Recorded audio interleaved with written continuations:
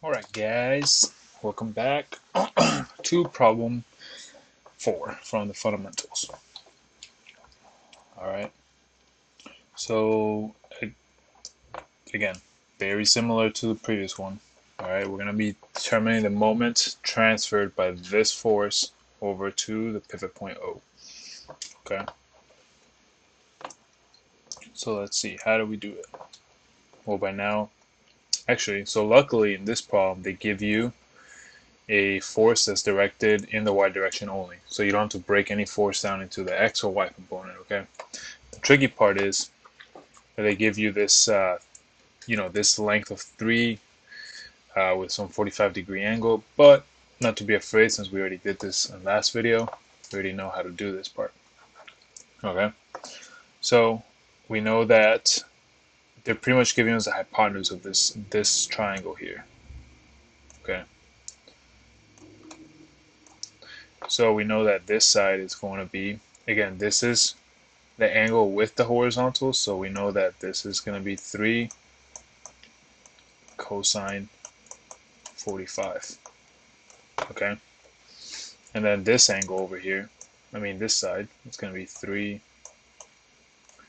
sine 45. Okay, and we know that those two are equal since cosine and sine are the same. Well, cosine 45 and sine 45 are the same. Okay. So now what distance do I have to move the line of action over a force of 600 so it intersects with the with point O. Okay well it's going to be this 4 feet plus this little bit, right? So it's going to be this plus 4 gives you the total distance of, uh, of something. Gives you this total distance, okay? So then how do we calculate that? Well, alright, that's uh, net moment about O, okay? It's going to be 600 okay. Times okay let's do a distance. It's gonna be 4 plus 4 plus okay? 4 plus something. And so it's gonna be 4 plus 3 cosine 45 minus 1 foot okay? Because this whole length is you know, 3 cosine 45, so 3 square root of 2 over 2, okay? But then we're one foot over to the left of that, okay? So it's going to be this minus, uh, in some colors, minus this chunk over here, okay? So get rid of that. And then we're going to be left with this part, okay? And this is the, this, this part is going to be 3 cos 45 minus that blue which is just 1 okay. And that gives you that little red distance. Okay so it's going to be 4 plus 3 cosine.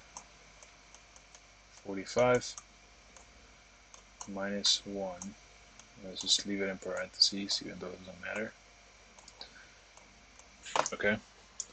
And that's pretty much it for this problem, right? Now let's just determine the direction. So we know, again, line up your fingers, your index finger, or you hold all your fingers in your right hand along the direction of the 600, right? And then let them fall towards O, okay? So which way does it want to fall? It wants to fall in the counterclockwise direction. So then this will be positive, okay? And also you know that if you push this up, you're going to make it rotate go towards the wall in like you know in, in this motion. Okay. So let's see what this gives us. It's going to be 3 times cosine 45 minus 1 plus 4 times 600 and that is 3000 I'm going to leave it as 3073 pound foot. Okay. And that's it. Okay. So by now you've been able to identify how to break forces down into x and y. You've been able to identify what is the distance that you need to multiply your force in order to compute the moment transferred to a certain pivot point, which is by shifting the line of action over a certain distance, okay? And we know how to break down distances into x and y components if we need it, okay? that's all statics. That's all you're going to be doing, all right? All right, guys, thanks a lot. I'll see you in the next video.